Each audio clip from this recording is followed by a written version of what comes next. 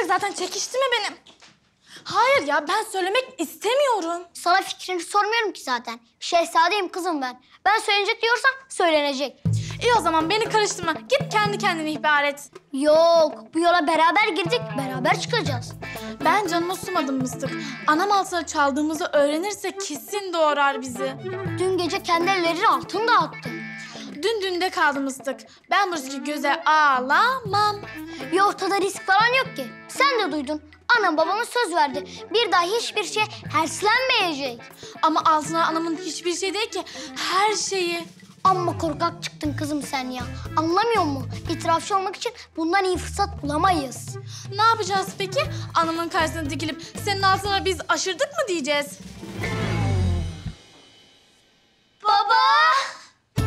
Baba maba yok bundan sonra size. Baba falan yok. Kaşık düşmanları. Hain evlatlar sizi. Baba yapma. Acı bize. Sus. Konuşma. Sen bana acıdın mı? He? Babam nelerle uğraşıyor dedin mi? Babam o altınları almak için ne kadar çok çalışıyor dedin mi? Niye diyeyim? Sen hiç çalışmıyor ki. Ulan cevap verme. Öbür kolunu da ben kırarım ha. Baba vallahi mıstık zorladı beni. Ben yapmayalım dedim. Ne olur bana kızma. Hadi be. Asıl satış yok. En çok ona kızma. Konuşma. Ulan senin dediğini mi yapacağım? Senin lafınla mı hareket edeceğim? Bence bir sakıncası yok ya. Lan var ya sizin de ben...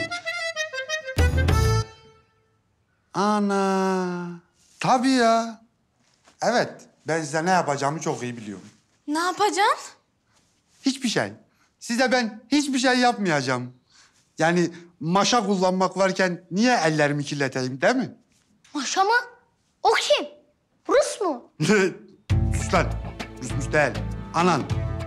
Ananız. Yani ben sizi ananıza vereceğim.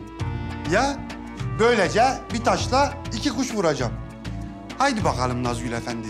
Acaba bu elim olay karşısında da sakinliğini koruyabilecek misin? Baba bize anama vereceğine evden kov daha iyi. Değil mi? Çok güzel fikir. Aynen. De haydi düşün önüme. Haydi haydi. Gel gel gel.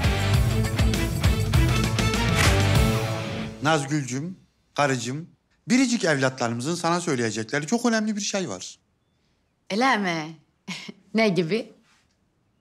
Vallahi benim söylemeye dilim varmadı. Bakalım senin dinlemeye takatin olacak mı? E haydi televizyon sunucuları gibi ne sündürüyorsunuz? Bu cümleler niye böyle renkten renke giriyor benim karşımda? Ceylan, Mıstık, mikrofon sizde. Başarılar. Bana ne ya? Ben suçsuzum zaten. Sen söyle. De haydi cümleler sabaha kadar sizi bekleyeceğim söylesenize. Nazgül sen biraz sinirlendin mi? Bana mı öyle geldi? Yok be. Ay babanız. Ben sadece hemen böyle şey yapsınlar diye söyledim. Asla sinirlenmedim. Evet çocuklar.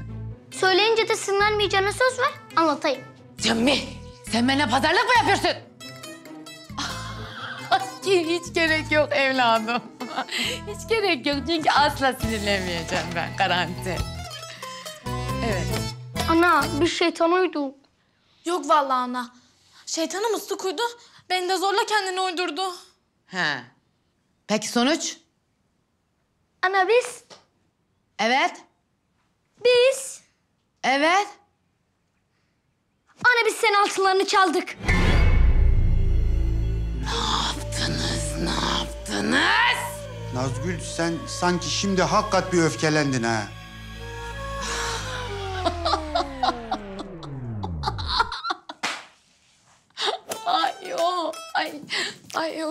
Başım döndü benim. Ondan tabii başım dönünce benim şey oldu yani yoksa asla sinirlen... Diye, diye bağırsaydın. Çok sinirlenmiş olabilirdim ama mısın hiç bağırmadım ben. hiç sinirlenmedim yani bir kırtık bile sinirlenmedim ben. Vallahi mı?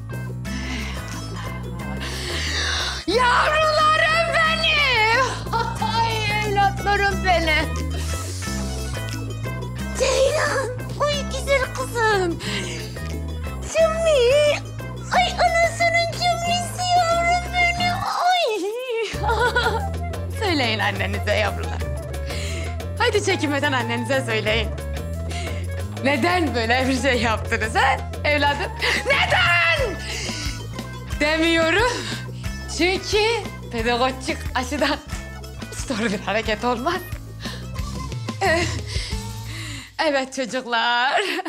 Şimdi bana güzellikle söyleyin bakalım. Neden hırsızlık? Sizin yüzünüzden bizi bırakıp gittiniz. Başımız boş kalınca da biz de şeytana uyduk. Hata ettik. Daha çocuğuz biz. Çocuksunuz. Evet. Ceylan. Sen de çocuksun annem. Gel. Gel annem. Cebime gir. Haydi çekinme kızım ha. Yemin ederim benim suçum yok. Mıstık tehdit etti. Mecbur kaldım. Hem ben o altınları borç aldım. Misliyle geri ödeyeceğim. Ne? Nasıl ödeyeceğim Mıstıkçım? Anlat bakayım nasıl ödeyeceğim? Düğünde takılacak takılarla ödeyeceğim. Ulan oğlum. Annesinin cemmesi. Sen daha küçücüksün be. Ulan senin küçücüksün oğlum. Küçük kadarsın ya sen. Sen büyüyeceksin de, evleneceksin de, düğün edeceksin de ben altına. Ay çok yakacı bir evlat anası gibi. O beni hemen vermeniz gerek.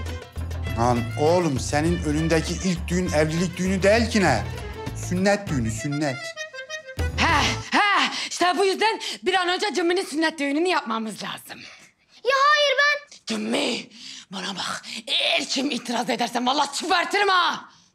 Aha işte işte şimdi öfkelendim. Vallahi sinirlendim anladım ben.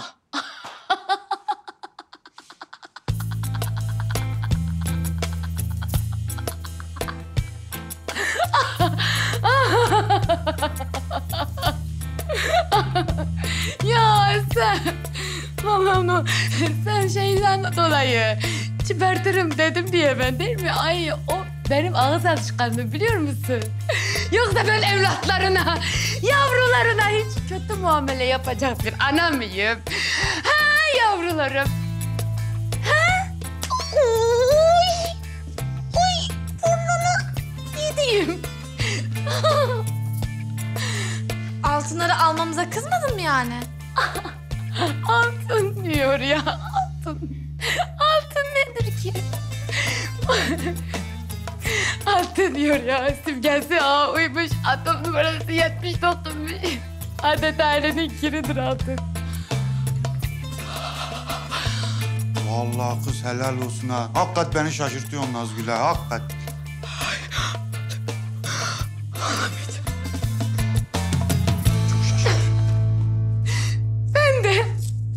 De çok şaşırıyorum biliyor musun Kaan? o zaman şöyle yapalım Kaan'cığım bence. Şimdi madem Cimmi'ye sünnet düğünü yapacağız, biz de anası babası olarak böyle küslük kalmayalım. Barışalım benim kıvırcığım. Çocuklar da düğünde anası babası küs kalması yazıktır. Yok canım değildir. Benim daha öfke test sürüşüm bitmedi. Bitmedi. Bitmedi